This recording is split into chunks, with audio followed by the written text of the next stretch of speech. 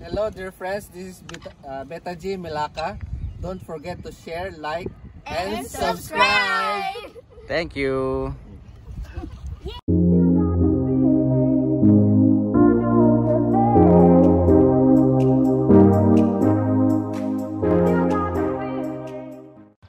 Okey, Assalamualaikum. Selamat datang lagi ke channel saya, channel Beta Jim Melaka. Kepada korang semuanya yang dah like, share, komen dan subscribe. Saya ucapkan banyak terima kasih kepada korang. Dan kepada korang yang belum subscribe lagi, sila subscribe. Okay, sebab subscribe tu percuma je. Okay. okay korang nampak kan, saya punya burung Fredo ni. Nah, ni, aku lepas fly lah. Ha, mengah dia nampak.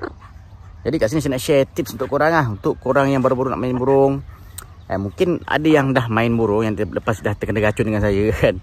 Okay. So, mungkin burung korang tu fly dia tak berapa lama kan. Jadi untuk bagi burung tu uh, fly lama kan uh, tu jauh uh, korang perlukan latihan setiap hari lah. Se sebaik-baiknya setiap hari lah. Okay, paling tidak pun kalau anda kata ada masa pun seminggu tu paling tidak pun tiga kali. Uh, korang, korang kena fly kan dia. Okay?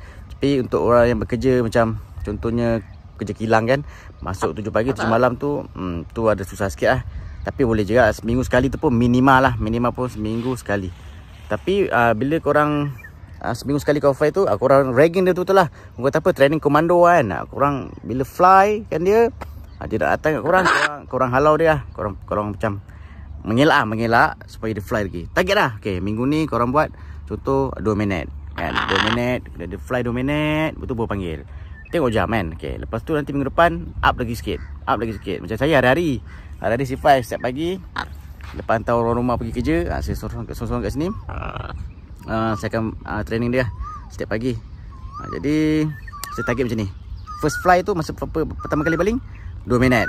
Okey, saya lebih kurang 4 kali je saya baling satu hari. Saya bagi dia fly dalam 4 kali je. Okay, kali pertama tu 2 minit. Lepas tu kali kedua 3 minit. Kali keempat 4 minit. Kali kelima tu mungkin 5 ataupun 6 minit lah. Okey, ha, ni Fredo ni nak kacau dah main handphone ni. Fredo, come. Hai. Dia tak duduk diam dia ni. Okey, so ha, kita up dia. Lah tu lebih kurang dah sebulan kurang macam tu Kuru up lagi. Ha, tinggi lagi. Contoh first fly je bagi dia 4 minit. Tu second fly bagi dia dalam ha, 5 minit. Up lah 1 minit 1 minit. Ha, yang last tu bagi lama sikit lah. Ha, berapa banyak berapa yang dia boleh pergi lah. Dia nak datang kat korang korang elak lah elak ke halau ke. Tu untuk uh, stamina burung eh. Kita bukan seksa burung tau. Kita bukan seksa kita bukan kita paksa dia. Tapi ni sebenarnya adalah kemahiran hidup dia lah. Umpama macam kemahiran hidup lah. Jadi Contoh eh. Korang main dekat tempat kan. Tiba-tiba ada lang datang. Lang tu kerja dia. Kita melatih kepak dia ni Untuk menjadi kuat. Ha, Supaya dia boleh lari daripada lang. Lepas tu uh, Lagi lama stamina dia. Jadi lang tu kalau kerja Lama pun dia boleh bertahan lah. Ha, Ni sebenarnya untuk survival dia juga ni. Untuk uh, dia punya survival dia Agar dia lebih kuat lah. Sebab kat alam alam liar Burung ni memang high-high fly. Daripada pagi sampai petang Diorang cik makan kan. Uh, Diorang akan fly ha, Dah berapa lama dengan Don Fly? Jadi kita sebagai owner dia Kita kena ajar dia Ataupun train dia Untuk fly seperti alam liar dia lah.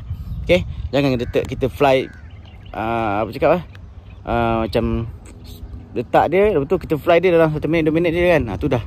Dah tak fly lagi. Ha, Kalau boleh kita train dia Kita buat dia macam burung-burung yang dekat luar sana. Dia pun nak bebas kan? Jadi bila kita fly dia tu Kita bukan seksa dia tau. Ha, Kita fly dia untuk nak melatih dia Untuk jadi kuat ha, supaya lagi satu kalau burung ni tak fly kepak dia akan jadi macam kau kata apa contoh macam kita dah lama tak berlari kan? Atau dah lama tak main bola futsal ke apa kan? Tiba-tiba kau main mesti mengah gila kan? Jadi bila anda kata tiba-tiba dah lama sebulan kau tak fly ha, betul korang fly kan dia. Nanti tiba-tiba ada pula lang ke agak ke jauh ha, time tu dia dah penat lah. Takut nanti uh, apa stamina dia tak ada ha, Mula lah Dia kena sambar ke dengan lang ke apa kan. Ha, Jadi kita tak nak macam tu lah. Kita nak latih dia macam anak kita sendiri. Ha, Ni Fredo ni kan? Hmm, Jadi saya nak flykan dia. Hmm, Tadi ni baru fly yang ketiga. Ha, Jadi ada dua kali fly lagi. Jadi saya akan tunjuk korang lah. Ha, Saya akan ragging dia. Saya ragging dia macam komando. Barulah power Fredo kan?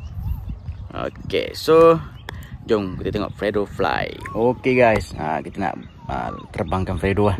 Jadi Korang tengok lah macam mana saya hindarkan diri saya daripada dia lah bila dia datang. Okey. Okey Satu, dua, go. Okey, latihan macam ni perlu kerap dilakukan. Mak, dia Pedo ni sejenis burung besar. Jadi dia perlukan latihan cukup lah. Sebab burung-burung besar macam ni, dia kalau dah lama tak fly, nanti dia jam, kepak dia jam. Go, go, go, go, go, go, go. Macam Fredo dah faham arahan lah. Dia cakap go eh, dia akan teruskan lah terbang. Kita akan flykan dia. Tengok berapa minit dulu lagi eh.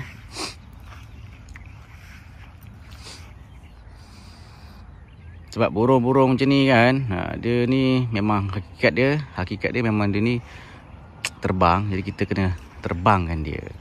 Barulah kita menjaga ke kepentingan burung. Mana kita bukannya uh, menyeksa burung, kita boleh dalam sangkau kan. Tengok burung pun akan terbang lebih tinggi. Dulu Fredo terbang rendah je. Tapi bila dia dah makin dewasa, kepak dia makin baik, dia mula terbang tinggi. Seronok tengok dia terbang tinggi. Maknanya burung sihat lah. Go, go, go, go, go, go. Saya target 5 minit eh. Saya target 5 minit.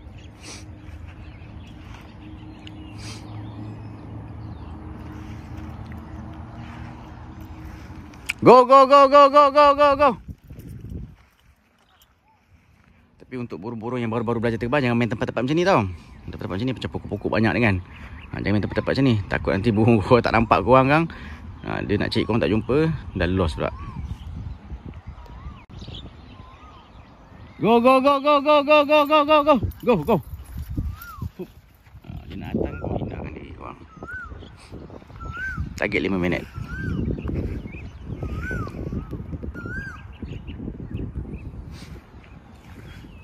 Go go go go.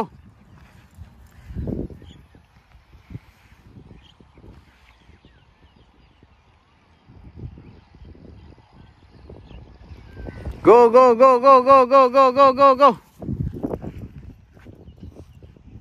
Macam ni saya memang ajar dia main tempat-tempat ekstrim. Tempat-tempat ekstrim ni bukan kita saya saja nak main eh sebab kita nak latih dia juga untuk uh, cakap apa?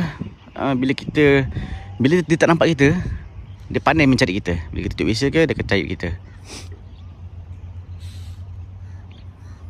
Tengok, Pedro mana Pedro? Ha, situ dia.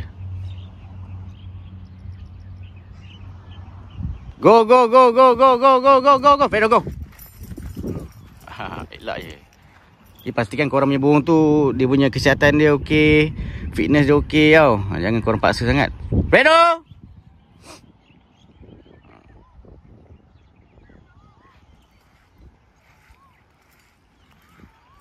Okay, last round eh, last round. Go go go go go go. Last round. Tengok pada kondisi burung korang eh. Nampak macam dah letih sangat eh, panggil lah. Jadi tengok dia fly dah slow Dah main bawah je tu ah, Panggil aja. Okay